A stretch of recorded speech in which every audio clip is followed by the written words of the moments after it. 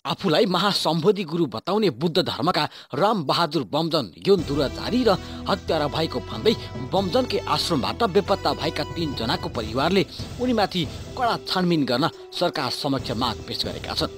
बमजनको आश्रमबाट बेपत्ता भएका आफ्ना परिवारका सदस्यलाई खोजिदिन तीन परिवारले आज काठमाडौँमा पत्रकार सम्मेलन गरेर सरकारलाई आग्रह गरेका हुन्। मकवानपुर र नुवाकोटबाट आएका तीन परिवारले बमजनको आश्रममा अनुसन्धान गर्न र वर्षौंदेखि बेपत्ता पारिएका आफन्त खोजिदिन सरकारलाई आग्रह गरेका हुन्। बौद्ध धर्मको एक संगठन अहिंसावादी धर्म चक्र सङ्घका महासचिव प्रेम दोर्जे लामाले बमजनको आश्रमबाट हराएका डोल्मो र चुम्मो लगायत अन्य आनी र चेलाको खोजी गर्न माग गरे। यो सङ्गठनमा मकवानपुरकी डोल्मो र नुवाकोटकी चुम्बोका परिवार पनि आबद्ध छन्। लामाले भने सुरुमा दुवै हाम्रो गुम्बाका आने थिए पछि बमजनतिर लागेर कतै आश्रममा बस्न थाले। अहिले उनीहरू बेपत्ता भएको भन्दै परिवारका सदस्य हामीलाई सोध्न आइरहनु भएको छ। हामीले पनि खोज्यौँ तर भेटेनौँ। अब राज्यले खोजिदिनु पर्यो।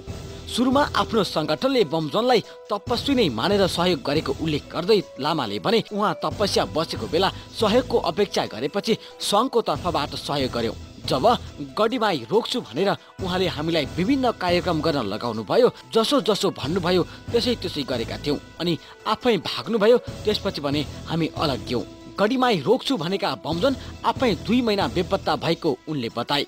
दुई महिनापछि उनी फर्केर बाराको हाल खोरिया आएपछि फेरि आफूहरू उनको दर्शन गर्न गएको उनले दावी गरे। हराएर फर्किँदा बमजनका साथमा एकजना महिला पनि आएकी थिइन्। त्यो बेला पनि तिनचोटि ढोगेर दर्शन गरेका थियौँ।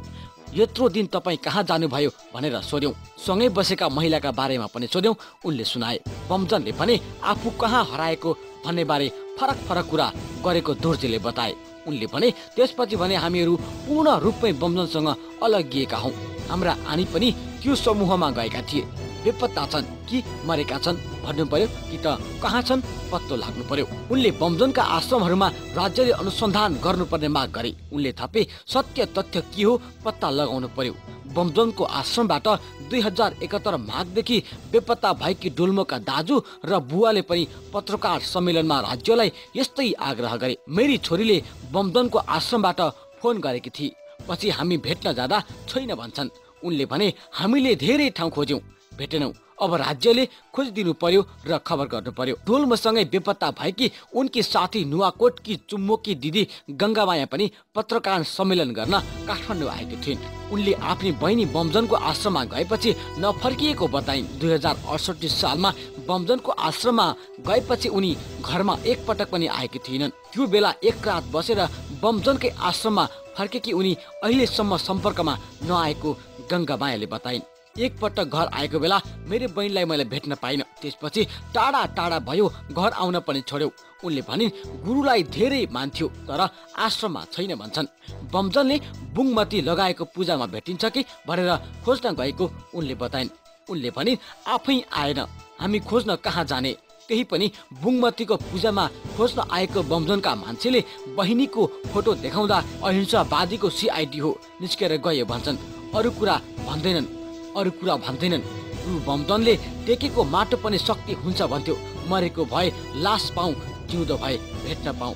त्यस्तै पत्रकार सम्मेलनमा मकवानपुरको हेटौडा उपमहानगरपालिका वनस्पति चोकका महेन्द्र वाइबाले पनि आफ्ना बुबा खोजिदिन आग्रह गरेका छन्। उनले आफ्नो बुबा दुई हजार एकहत्तर चैतदेखि बमजनको आश्रमबाटै बेपत्ता भएको जनाए। चैतको चौध गते बमजनको आश्रमबाट सत्र गते आउँछु भनेर फोन गर्नु भएको थियो।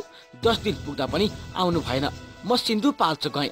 त्यहाँ एउटा बाजेले निस्केर गइसक्यो भन्नुभयो। उनले भने तर बुवा घरमा आउनु भएको छैन। राज्यले खोजिदिनु पर्यो। यी तिनै परिवारले आफ्ना बुवा बहिनी र छोरी खोजिदिन भन्दै प्रहरीमा जाहेरी दिएको पनि जानकारी गराएका छन्।